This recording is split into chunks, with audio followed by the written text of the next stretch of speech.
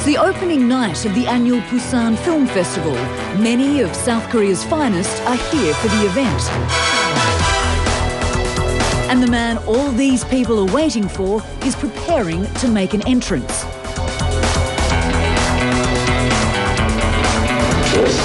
South Korean actor and heartthrob Lee Byung-hun. He's dominated this country's film industry for more than two decades, starring in some 20 soap operas and more than a dozen films.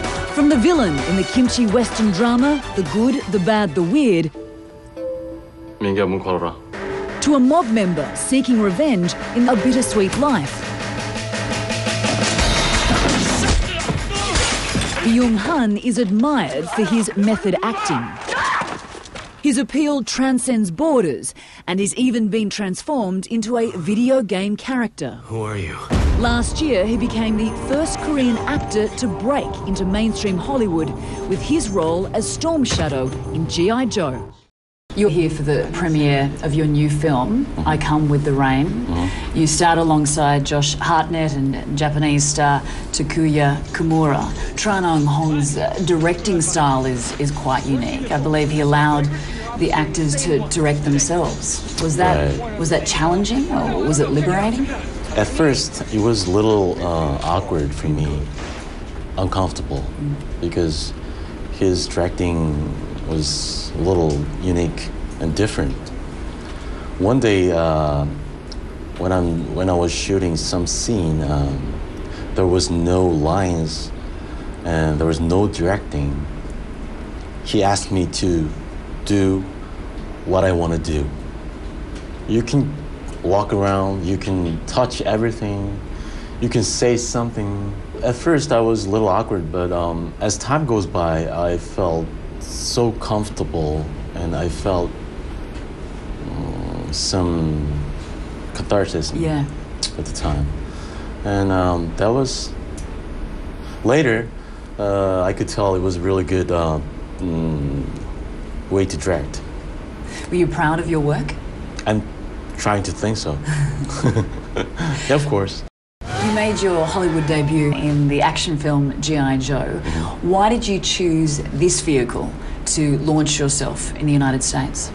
When I first heard about G.I. Joe from my uh, agent, uh, I didn't know what it was, so, so um, I refused it first. But everybody told me to do it because it's going to be so huge and it's going to be a huge uh, opportunity to go there. So um, one of my really good friend, uh, Park Chan-wook, who made uh, Old Boy, uh, he uh, advised me, uh, if you really want to go to Hollywood, then um, why don't you choose it? That would be really good chance to do it. So um, that advice was so helpful to me. Is it your ultimate goal to crack Hollywood? No, I, I actually uh, didn't think about to go Hollywood. Even a few years ago, nobody thought it happened because it's just a dream for Korean actors. Nowadays, it's not a dream anymore. It's reality. Your career started in soap operas. I think you've starred in more than 20 soap operas here in, in South Korea. Uh, Tell us about the country's obsession with soap operas.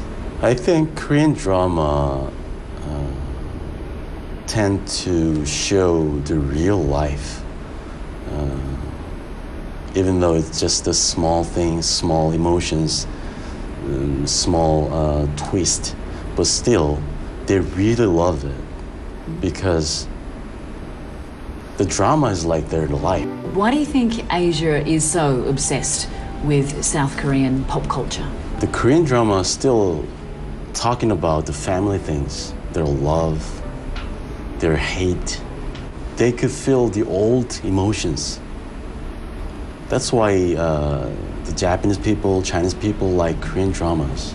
And the songs normally include a lot of sadness in Korean in Korea. Your first big film, Joint Security Area, directed by Park Chan Wook, did you ever think it was going to be as big as what it was? No, I don't think so because uh, nobody uh, estimate uh, about the result when they're filming it. Of course, I did it too, so we are surprised by the the amount of the audience, and uh, that movie made me so popular and famous in Korea. So I was really thankful to Mr. Park. Well, the film was based on tension between North and South Korea, and I believe it was the first film that portrayed North Koreans in a good way. How did you feel being involved in, in such a project? That's the point that I liked. Uh, it's not about the ideology or something like that. It's not political things. That movie tells about the human. Do you miss being anonymous? Are there ever days that you wish that you could just walk down the street and go unrecognized? What I really wanted to do was uh, driving taxi. I uh, borrowed a taxi from my friend. He was the boss of the taxi uh, company, and I borrowed the taxi and I drove it like a few days. It was so fun and so interesting experience. So you were picking up people and taking them. Yeah. them.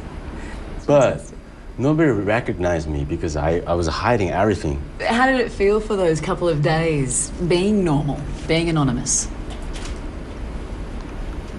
It was so interesting and uh, that was so weird experience to me because I'm used to be uh, live in act live uh, as an actor, so um, that was strange to me.